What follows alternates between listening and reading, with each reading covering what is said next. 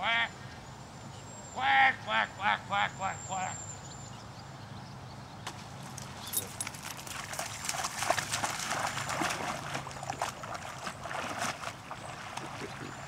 Line up in a test, you're gonna wanna make that calf loud enough so that they can you hear. you don't need to scream it, you can be in a normal tone of voice, just like I'm talking right now. But you do need to say something. I did some. I couldn't hear you over there.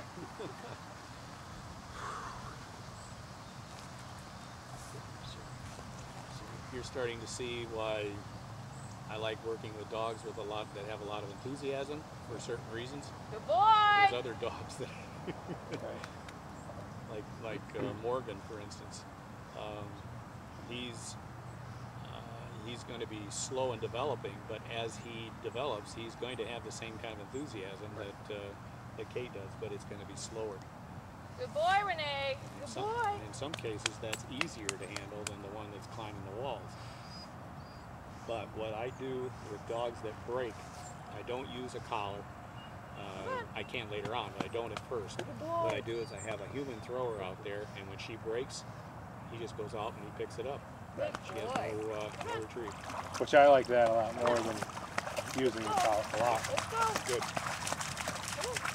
Eventually, you can use the Sure. Want to get the concept across first.